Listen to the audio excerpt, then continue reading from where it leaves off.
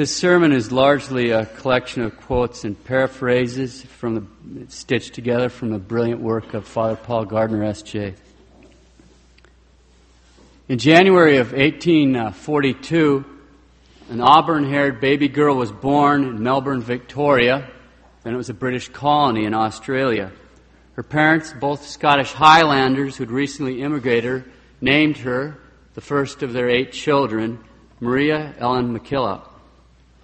Although she never attended any real high class school, she was nonetheless a very well educated woman. It was because of her, her father, who was a very highly educated man, and he used his talents to, to train his daughter. Although he was a brilliant man, he was not a particularly good provider. A most remarkable example of his improvident behavior occurred when his father decided to help a dying friend fulfill his last wish to see Scotland before he died. That meant leaving behind his wife for 17 months with then six little kids, the oldest of which was Mary at that time, who was nine years old. Now, how is food supposed to be put on the table during the, that whole period of time? Not only that, but unbeknownst to his poor wife, not only did he leave her there alone while he went off to Scotland, he mortgaged his property to their brother in order to pay for the trip. It gets worse. Since he's away for longer than the terms of the mortgage, his very own brother foreclosed on the property, and even though Mary's mother quickly got money from friends, her brother in law refused the money and kept the house and the property. When one of Mary's maternal uncles heard about the situation, he gathered up his sister and the children and brought them to his farm. Mary summarized youth, quote, My life as a child was one of sorrow. My home, when I had it, a most unhappy one. Close quote. The long and short of it is Mary wound, wound up working various jobs to support the family finally landing a job at the age of 18 in Penola, South Australia, working as a governess for her aunt and uncle. Not only did she care for and teach her ten cousins, she also taught the other children on the farm. As divine providence would have it, the local parish priest, Father Julian Tennyson Woods, kind of an eccentric Englishman, he had spent time with the Passionists in England and the Marists in, in France before he was finally ordained for the Diocese of Adelaide in Australia in 1857. Father Woods was very concerned about the lack of education and almost perfect ignorance of the faith among so many of the children in the outback, where it was so tough for the parents to just get by and make a living that they had very little time to worry about educating their children. Mary tells what happens next. Quote, I heard the pastor from the altar speak of the neglected state of the children of his parish, and I had to go and offer myself to aid him as far as the nature of my other duties would permit. Close quote. In 1866, Father Woods, by that time it had been appointed the diocesan director of education, invited Mary and two of her sisters to open a school in Penola. One of their brothers renovated a stable for them. In this humble schoolhouse, they began teaching more than 50 kids. In June 1867, having moved to Adelaide, she took the religious habit. On August 15th, she made her first vows and received the name Sister Mary of the Cross, thus becoming the first sister and superior the first order to be founded by Australians. It's called the Sisters of St. Joseph of the Sacred Heart, the Josephites, and they were dedicated uh, to the education of the children of the poor. Their rule was composed by Father Woods and approved by the Bishop of Adelaide. It emphasized radical poverty, the idea that the sisters would go anywhere they were needed, no matter how poor the circumstances, and how a deep faith that God would provide for their needs. By the end of 1869, more than 70 sisters were educating 20, children at 21 schools in Adelaide and the country, besides doing other charitable works for the poor, which are too long to list, but for example, running an orphanage, taking care of troubled girls, and so forth. By the end of that year, they expanded into Queensland. Now, on the way there, Sister Mary stopped in Sydney and ran into some Benedictine nuns who spoke to her about the significance of her religious name. Sister Mary wrote to her mother, quote, my title, the happy one given me at my profession, implies a life of crosses and afflictions. Close quote. Now that's a prophecy. Meanwhile, back in South Australia, the sisters who were left behind there reported to Father Woods that an Irish Franciscan priest was guilty of drunkenness and the kind of behavior we now associate with Boston.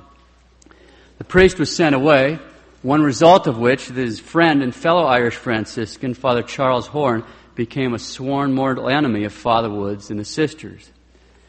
By the time the bishop another Irish Franciscan named Laurence Sheil returned to Adelaide after a 17 month absence. He was gone to the First Vatican Council, a long ways away, no way to keep in contact. By the time he came back, there were 127 Josephite sisters working in his diocese, running 34 schools, and that's not including those like Sister Mary, who are now working in Queensland. All this in a scant five years from their humble beginnings in a stable turned into a schoolhouse.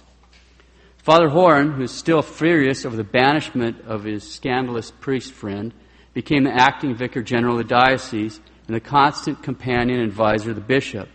It was no secret that he was determined to destroy both Father Woods and the sisters in revenge for the expulsion of his friend.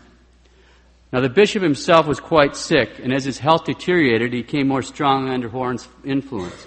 According to the deposition of a Jesuit priest familiar with the situation, for about two years, the bishop had been fine when dealing with ordinary duties, but whenever he asked him something complex or important, he'd get so confused that whatever the first thing was proposed, that would, he'd seize on that. At his side during this very time was Father Horan. Quote, Father Horan was his constant guide and companion. And what is worse, he kept the bishop, who was like a little boy, in a torpid state, bringing him brandy mixed with water because of his ill health and stomach weakness. But this made his stomach as well as his mind weaker and is thought to have accelerated his death. Close quote. So, with that as background, with absolutely no warning, the bishop suddenly announced changes to completely change the spirit and the rule of the Josephite congregation. All the postulants, that's all the girls that have come there, are supposed to be dismissed, and each convent was all of a sudden supposed to be put under the control of the local priest. One of the sisters quite rightly pointed out that they had taken a vow to obey the existing rule. When the bishop replied that anyone who had a problem with his changes would be dismissed from the vow, one of the sisters made the reasonable request, well, could we at least see the new rule so we know what it is that you want us to do? And he just dismissed that as a female whim. Sister Mary the Cross, who at this time had returned to South Australia, wrote the bishop, quote, a firm and clear letter, taking care to express her respect for his authority and her dependence on him. She declared that he had every right to change the rule, just as he had approved it in the first place. She outlined the development of her own religious vocation and concluded that should the rule be changed in the manner he had indicated, she would choose not to remain in the Institute, but to look for an opportunity to live the rule elsewhere. Close quote. As she said, quote, My first duty was to God and to the rule, which for his sake I had vowed to follow, no matter what obstacles might be thrown in its way. Close quote. In the evening of Thursday, September 21st, Father Horan ordered Sister Mary to catch the first train the next morning to a town some 50 miles away. Now, she said she would leave, but she asked to see the bishop before she left so that she could see these proposed changes to the rule. Because if they were serious enough, she wasn't going to consent to them. She was going to find someplace else to live out her vocation. Father Horan told her that the bishop would see her the next morning, so she went to bed, tired and sick. At about 10:30 at night, Father Horan returns to the convent. This is an interesting time for a priest to show up at a convent. And tells the sister who answered the door that if Sister Mary did not comply with the bishop's wishes to leave town on the first train, she'd be excommunicated. The sister brought the message to Sister Mary in bed, who replied she could not but act as she had done. She did not refuse to leave town, but she wanted to see the bishop first before she left. The response was relayed to Father Horan, along with information that none of the sisters in the convent were willing to accept another rule. The next morning, the bishop, accompanied by four priests, arrived at the convent and ordered Sister Mary to be summoned. He was told she was not well and was only then getting up. Meanwhile, the nuns from the other house had come to the convent. When Sister Mary entered the room, she knelt for the bishop's blessing, but he refused to bless her. They then moved to the chapel, where the bishop, with, complete with mitre and crozier, said he had to excommunicate Sister Mary because of her disobedience and rebellion. The sentence was then pronounced by the bishop, together with some remarks on spiritual pride and the wickedness of the world that Mary MacKillop had brought into the convent with her.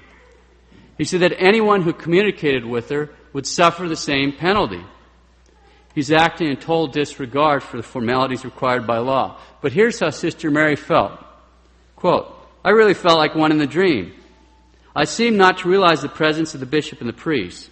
I know I did not see them, but I felt, oh, such a love for their office.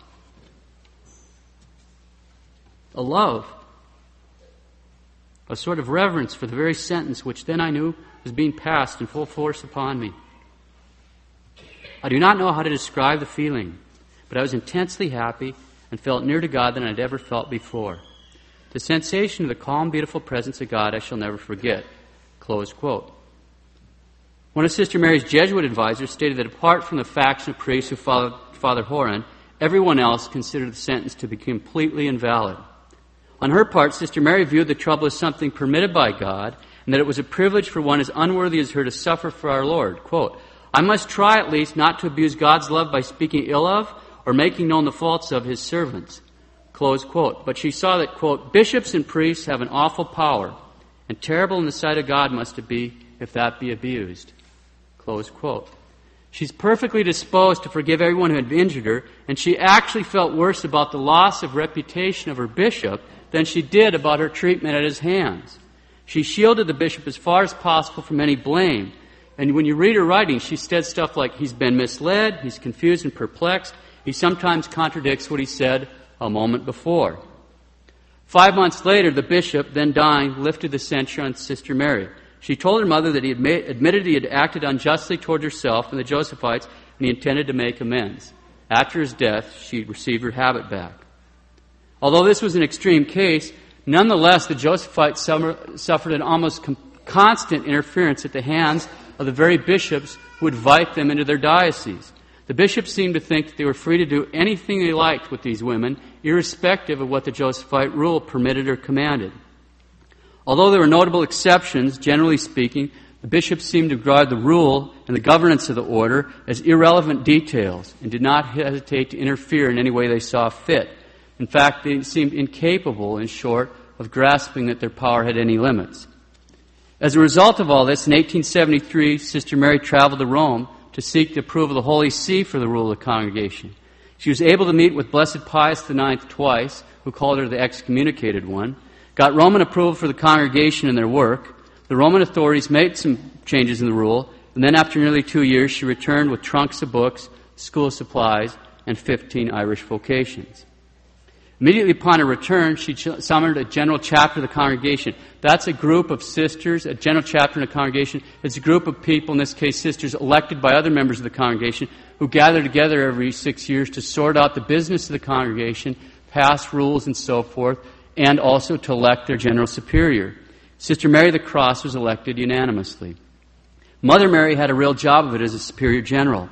The Roman approval of the Josephite rule did little to ward off the incursions of the bishops in their attempts to unjustly control the sisters. And her vigorous defense of the rights of her sisters did not win her many fans in that category either. She had two other strikes against her. Number one is she was a colonial, born in a British colony, and having been born in Victoria. And number two, she was Scottish, uh, neither of which made many points with the Irish bishops. Her next huge cross came in 1883. Once again, it was at the hand of a bishop, this time the Archbishop of Adelaide, an Irishman named Christopher Reynolds. In brief, here's the facts. In July 1883, Mother Mary received a letter signed by the Archbishop and his Vicar General, which stated that under orders from the Holy See, they were going to conduct an apostolic visitation. Now, just so you know what an apostolic visitation is, there's one going on for all the active women congregations right now in America by the Holy See because they're ordered, there's an apostolic visitator sent out by the Pope to visit all these different congregations. And what they do, it's, it's conducted by the authority of the Holy See, and its purpose is to maintain faith and discipline and to correct abuses. It's not a bad thing, it's a good thing. It's a paternal thing at the hand of the Holy See. Now, the fact of this visitation was no surprise or concern to Mother Mary. She'd been expecting one for some time and hoping that much good might come out of it. That was not going to be the case. During the visitation itself, the interrogations were conducted in a dishonest, deceptive uh, manner that it's obviously designed to re- reach predetermined conclusions. The whole thing was absolutely fraudulent and disgraceful. Although she had been questioned herself, she was left completely in the dark as to the accusations which had been formulated against her. In an official letter from the Archbishop, and I've read it, it's really just a torrent of unbelievable abuse and calumnies. She's accused of not being truthful, of violating holy poverty, of being disobedient, of having lost the confidence of the sisters, and so on and on and on and on. Furthermore, the Archbishop removes her from jurisdiction over the sisters, orders her to leave Adelaide and go to Sydney. She quietly and obediently leaves for Sydney and was still unaware that she, her principal accusation was she was a helpless drunk. It gets worse. Although Mother Mary of the Cross and the Sisters of St. Joseph didn't realize it at the time, the letter signed by the Archbishop and the Vicar General, which had said that they had instructions from the Holy See to carry out the apostolic visitation, was completely fraudulent. They had no such authority. It was a complete lie. All a lie with the apparent goal of removing her from office and seizing control of the sisters. After she found out the Archbishop had no authority from Rome for the visitation, she wrote, quote, What can the poor bishop have been thinking of? From all I can gather, our poor bishop has made a great mistake. I'd rather suffer blame than reflect in the least on the Bishop of Adelaide. I'm confident that he meant everything for the best, and the most extraordinary evidence must have been given against me ere he could write to me as he did. Close quotes. Now you think of the virtue of this woman. Her name's been publicly dra- dragged through the mud. She's illegally banished to another colony, removed from office, and she wonders what the poor bishop could have been thinking. He's a liar. He's lying about having a delegation from See, and she's wondering what could he have been thinking. She's too nice to say the guy's a liar. It's extraordinary. It must have been a mistake. Anyway, for my money, the saddest lines about the treatment of the Josephites at the hand of the clergy at this time are found in a letter written to Mother Mary by one of the sisters left in Adelaide. The sister had been speaking with the very vicar general about how discouraging it was for her to see so many of the sisters, after so many years of hard work, being buried without a requiem mass. Close quote. I then spoke of poor Sister Magdalene, who was buried a day or two before, with apparently as little sympathy from the ecclesiastics of the diocese as if it had been a duck that died at the bottom of the yard. Close quote. That's hard for me to read. And I'd invite any brother priest that may hear this sermon uh, to offer requiem for the souls of those sisters who were denied that mercy. From her banishment in Sydney, Mother Mary of the Cross wrote to her sisters, quote, The Institute is passing through a severe trial, but with humility, charity, and truth on the part of its members, all will in the end be well. Have patience, my own loved children. Pray, pray humbly and with confidence, and fear nothing. Our good God is proving his work. Close quote. And then the next blow fell. The Archbishop of Sydney was called to Rome to receive the cardinal's hat, and on his return, told Mother Mary that she was to resign from her office as Superior General he was to appoint a new superior general to take her place until such time as a general chapter, which was to be held as soon as possible, could elect a new one. Mother Bernard Walsh was appointed as the interim superior general, but a new chapter was not held to elect a new superior general. It gets worse. The next two general chapters, held in 1889 and 1896, were allowed to meet, but were not allowed to elect the superior general. Instead, on each occasion, Cardinal Moran obtained the power to reappoint his candidate. All in all, Mother Bernard Walsh was reappointed as Superior General for 17 years, although she died before completing her term. Father Gardner com- comments that because Mother Mary of the Cross's performance of her duties had irritated the bishops, who wanted to impose their own ideas on the congregation, Cardinal Moran may have judged that the best interest of the Church in Australia would be served by this appointment. He also notes that Mother Bernard Walsh was a more pliant character. To be fair, his real words are, she was weak, yielding, and incompetent, not up to the demands of her office. And if anybody's ever been under a, a superior like that, you know what a real cross that can be. Another important factor was Mother Bernard was not Scottish. She was Irish. Now, I'm, I'm part Irish, but this over the top nationalism of the bishops is, is uh, just plain flat embarrassing. No, it's actually disgusting, to be honest. The machinations of the bishops continued. When the bishops of Australia and New Zealand came together for the first General Synod, once again they tried to seize power of the Josephites when they voted 14 to 3, quote, with regard to the congregation which is called Sisters of St. Joseph of the Sacred Heart, the bishops think that the convents or religious houses in each diocese should be subject to the respective ordinaries. Close quote. It doesn't seem to matter what Rome says. They're bound and determined to have it their own way. These guys just did not get it. The Holy See could send out any kind of instruction it wanted, and the bishops just get selective hearing loss. Not surprisingly, this decree of the bishops was tossed out by Rome, and Rome then erected the sisters into a regular congregation, having the mother house in Sydney. In August 1898, Mother Bernard died. The general chapter, held in January 1899, was finally allowed to hold elections, and in a unanimous vote, Mother Mary of the Cross was elected as Mother General. Her crosses were not over. In 1902, she suffered a stroke, left her paralyzed on her right side. Her minor speech were left intact, but she was confined to a wheelchair. In spite of infirmities, the next general chapter, 1905, the delegates once again elected her as Mother General.